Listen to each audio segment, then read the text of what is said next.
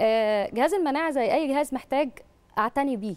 يعني زي ما أنا محتاجة أعتني بصحتي ككل جهاز المناعة أي حاجة بتفيد الجسم بتفيده وهلجأ كلها لطرق طبيعية. يعني أول حاجة هقول مثلا الأكل لازم يبقى على طول عندنا آه، الجانك فود ده مش موجود في البيت. المفروض للأسف يعني ده اللي, متو... اللي موجود دلوقتي ده المفروض ما يبقاش موجود.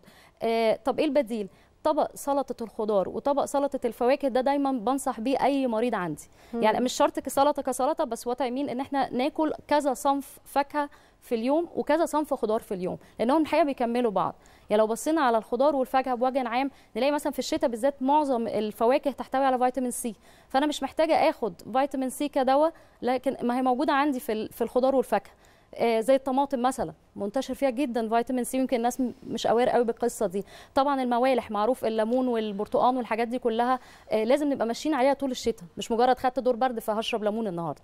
فجهاز المناعة محتاج حاجات طبيعية آه، ومحتاج أبعد عن أي حاجة فيها مواد حافظة. يعني أنا بنصح أي أم مثلا بلاش عصاير من بره كلها مواد حافظة لكن أعمل عصير فريش في البيت كده استفدت من الفيتامين